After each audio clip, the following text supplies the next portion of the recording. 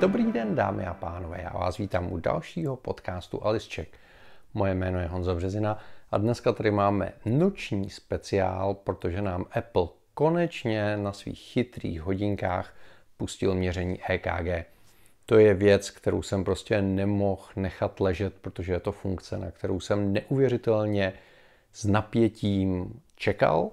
A říkal jsem si, dobře, už to tady bude. A teď prostě byla keynote, tam nám to ukázali a nic, nebylo to tam. Tak jsme čekali na verzi 5.1 a zase nic. A dneska konečně vyšla verze operačního systému pro hodinky, v který je tahle ta funkce k dispozici, takže si ji můžete vyzkoušet, pokud máte čtvrtou generaci hodinek jako já. Jak to celý funguje? No přátelé, je to krásně jednoduchý. Na hodinkách se vám objeví nová aplikace, která je určená na měření EKG. Když ji poprvé spustíte, tak vás vyzve, abyste si v aplikaci zdraví na telefonu nastavili to měření jako takové.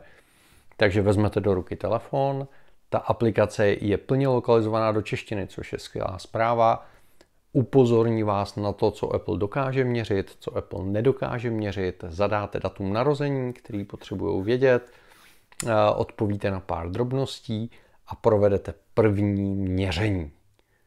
Měření vypadá v praxi přesně takhle, pojďte se na to podívat. Zapneme, vyskočíme, najdeme aplikaci EKG, spustíme, tady vidíte nádhernou animaci, Ruka má být volně položená, položíme prst na korunku a začínáme měřit. To měření trvá 30 sekund a dochází vlastně k měření elektrických impulzů srdce, který prochází z korunky přes můj prst, srdce, druhou ruku, zpátky do senzorů na spodní straně. Tak už se blížíme ke konci, posledních pět.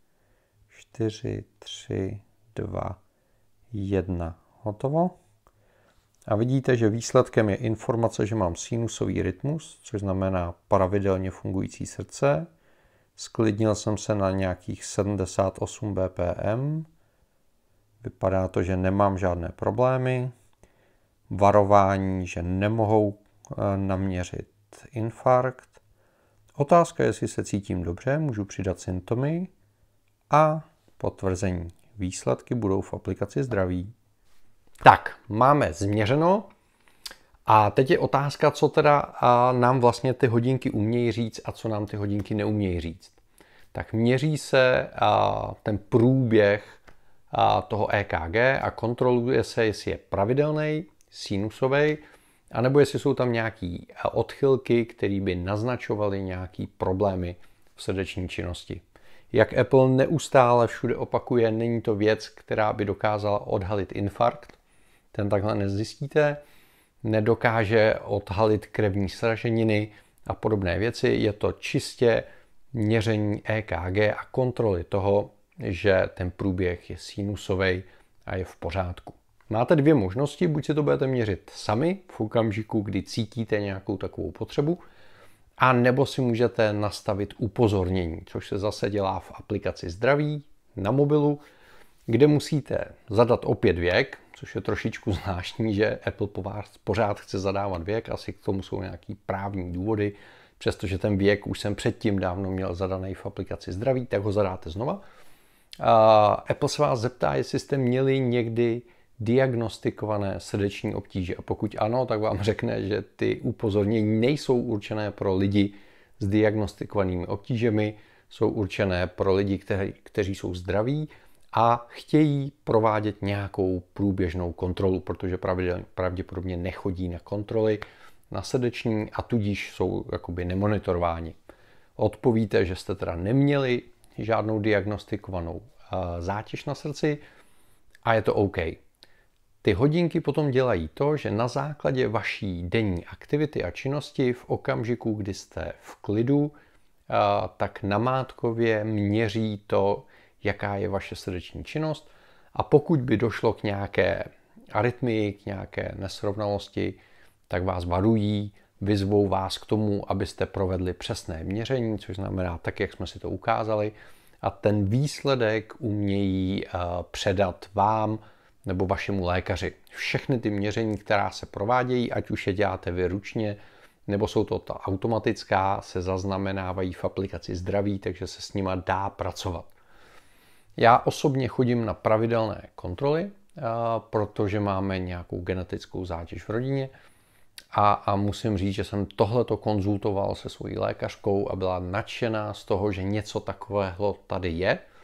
Není to věc, která by nahrazovala monitoring u lidí, kteří jsou aktuálně nemocní, to rozhodně ne, ale pro zdravé lidi tohle může znamenat včasné odhalení problémů a problémy se srdcem, pokud je odhalíte včas, tak se samozřejmě výrazně jednodušeji řeší.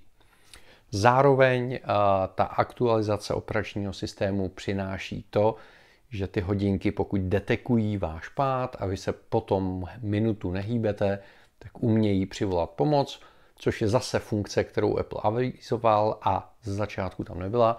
Takže v tomhle okamžiku už můžeme zodpovědně říct, že chytré hodinky o teplu jsou ty zdravotně nejzodpovědnější hodinky nebo nositelná elektronika, kterou si právě teď můžete pořídit, což je skvělá zpráva. Já osobně z toho mám velkou radost. Budu zkoušet měřit jak ručně, tak jsem si zapnul ty notifikace. Takže v některém z dalších eh, podcastů se s vámi určitě podělím o ty zkušenosti. Doufám, že vždycky výsledek bude sinusový průběh a nějaký rozumný tep. A pokud se chcete na cokoliv zeptat, pište mi do komentářů. Jo. Je tohle velice jako spontánní, před čtvrt hodinou jsem nainstaloval tu aktualizaci, takže určitě vás napadne spousta otázek, které mě teď ještě nenapadly. Rád vyzkouším, hodinky mám, aktivně je používám, takže není problém vyzkoušet a odpovědět. Díky moc za vaši pozornost, omlouvám se za trošku horší kvalitu, ale doma bohužel nemám zatím postavený studio, který by bylo jako high-tech, ale já věřím, že mnohem důležitější je obsah a aktuálnost než ta forma jako taková. Příště se budu těšit na shledanou. Mějte se. Ahoj.